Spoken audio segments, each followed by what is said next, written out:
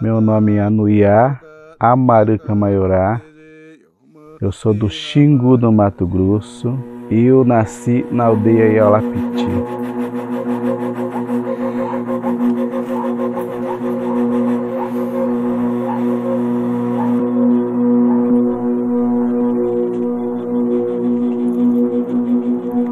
Eu, quando estava criança, né, fui aprendendo com meu pai, meu avô, meus primos, né, ser o grande flautista, como meu tio finado Finaco, né? Foi grande flautista, eu tinha muito é, orgulho dele, né? Então um dia eu cheguei nele, né? Tio, sabe que você pode me ensinar? Falou, claro, é um prazer te ensinar, passar minha música, um dia você me lembrar, né? Quando eu fui embora, né? Realmente que é verdade, né? É muito bonito música, é muito triste, né? Parece que ele fica bem perto de você. Eu fiquei mesmo assim, querendo aprender quando ele ficou doente, né? Aí não tinha pessoa na aldeia para tocar. Aí o cacique reuniu é, os jovens, né? Tá vendo? Você não quer aprender e tá aí, né? O grande cantor tá no hospital, ninguém tá aqui, né? No lugar. Então, a partir de lá que eu comecei, né? Pergunta a ele, pesquisei muita música, né? Tem muito significado, né? Tem só para é, você tocar dia a dia, tem para você curar uma pessoa quando está tá doente, né? E tem música só para o trabalho, né? Quando você faz o trabalho para um grande cacique, você tem que tocar aquele só música especial, sagrada que a gente fala, né? Tem música de madrugada, tem música de meia-noite, né? Amanhecendo. Música vai morrendo com, com a letra. Vou tocar essa música aqui, música de tarde, muito bonita.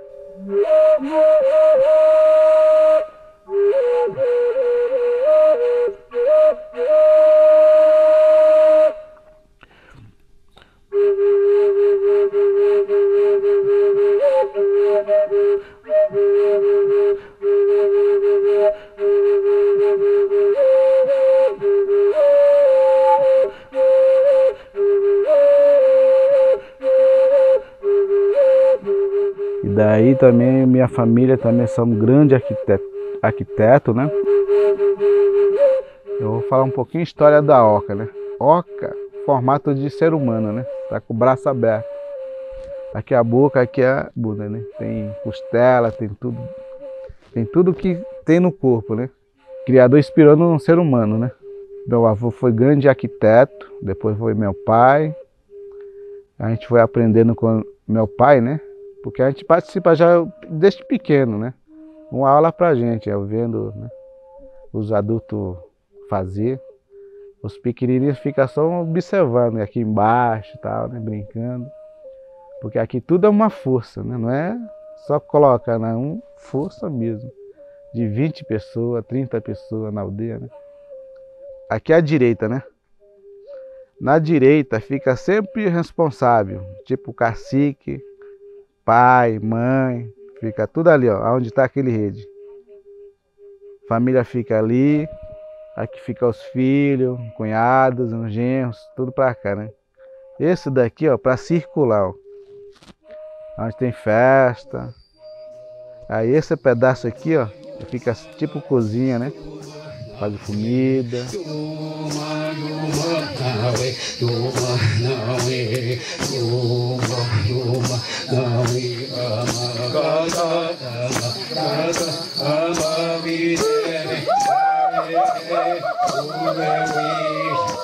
Então cada pedaço eu fui pegando, né? Em primeiro lugar foi educado como ser lutador, né? Ser um campeão da aldeia Pitia, né? Porque a minha família era muito lutador, meu avô grande campeão. Então a gente tinha que segurar o nome da família, né? Minha família queria isso.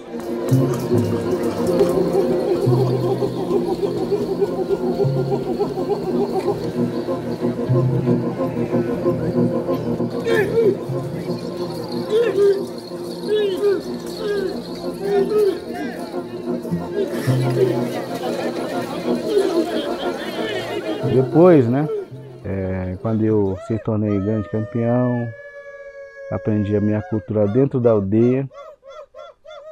Por que não sair na cidade, aprender outra coisa, né? Uma novidade para nós, né?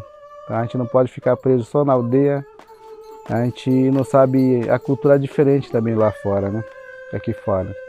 Então a gente tinha que sair para estudar um pouco, né? E levar seu conhecimento na aldeia, né? Porque a gente precisa, né? Então muita gente me perguntando, ah, você nasceu na cidade? Eu falei, não, eu nasci na aldeia e depois eu fui para fora para representar o povo, né? Chegando de lá para a cidade, eu, o povo vai falar um pouco da aldeia multiétnica, né? Então esse projeto trouxe a gente para cá, né? Aproximou mais os povos indígenas, os parentes que eu não conhecia. Eu tinha muito vergonha de falar no meio deles, né? Eu cheguei aqui mais novo, né? Não sabia falar muito, né? Não tinha nem coragem de falar no meio dos, dos caciques para debater, cantar conversar com os parentes, Javante, Caiapó, Craô, Funiô, Guarani. Aí eu fui começando a ser uma família mesmo, né, aqui. E esse projeto trouxe muito felicidade e união entre os nossos povos indígenas, né. Eu, Anuiá, trago mais os jovens, né, eu coordeno o grupo, né, do Alto Xingu. Por que, que eu trago mais jovens, né? Lá no Xingu tem mais os, mais os velhos, né? E lá na, no Xingu ele sente muito vergonha, né? Mas ele sabe cantar, não quer cantar, porque o professor, o mestre estão lá, né? Estamos aqui na aldeia Mutiada, ele sente vontade. Então cada um canta aqui. Por isso que é muito importante essa aldeia, esse projeto aqui, né? Então nós índios respeitamos muito a natureza, né? A gente não pensa acumular as coisas. A gente não pensa ficar rico, né? A gente pensa ficar tudo igual, né? Os família, fatura, né? A gente não acumula, né? Se a gente pegar muitas fatura, muito peixe, a gente divide leva lá no centro da aldeia, para todo mundo alimentar igual, né? A gente não acumula. A gente não vai perder é, é, comida, né? A gente tem que oferecer para todo mundo, né? Então é isso que o, o nosso, nossa vida indígena, né? Por quê? Criador, Mavutsini, né?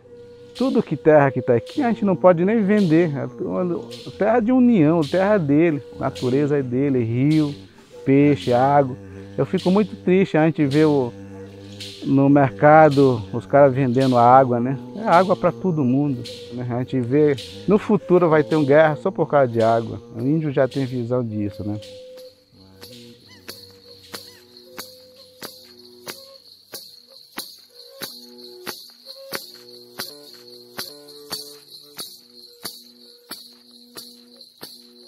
Então, Quarupi. Quarupi é, já está falando, festa do sol. Quarupi, né? Quatro, o sol. Rupi é a madeira, né? O tronco. Quarupi. Onde eles homenagearam mãe, né? Quando morreu, eles começaram a fazer homenagem da, da, da mãe. E cortaram logo madeira especial, né? O tronco, que é o quarupi, né? Quarupi diz que a gente nasceu por, por ela, né? Madeira.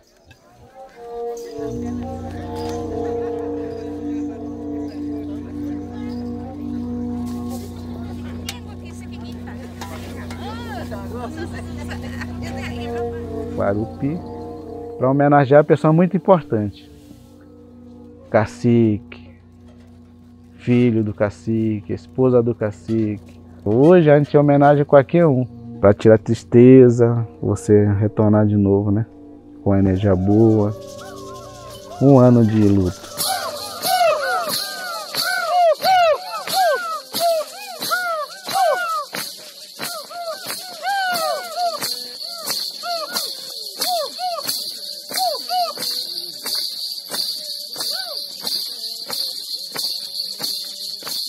Hoje eu quero mandar mensagem para todos os meninos do Brasil criança dos, dos povos indígenas, né? Aproveitar mais os velhos, pesquisar história eles, né? Conhecimento, música, história, raiz, na língua materna, que é importante. Não adianta se a gente ficar como um caraíba que a gente não vai. Né? Eu, eu tenho orgulho de ser índio, né? Eu nasci índio, vou ser índio, morrer como índio, né? Claro que tem que. Os meninos, vocês têm que estudar, né? né? Porque hoje a arma dos homens brancos é um, só um ponta de caneta, né? Mas não esquece da sua cultura, da sua história. Então é isso que eu queria mandar para os meninos. He kuki vini kuki vini amoki luweke kuki vini kuki vini kuki vini kuki vini it amoki luweke kuki vini kuki vini it amoki luweke he kukividi kukividi it okilueke kukividi kukividi kukividi kukividi it okilueke kukividi kukividi it okilueke He iso wagata gohaga iso wagata gohaga heke heke kuk engelui go heke heke kuk engelui go kividi go kividi go kividi go kividi itawakilu heke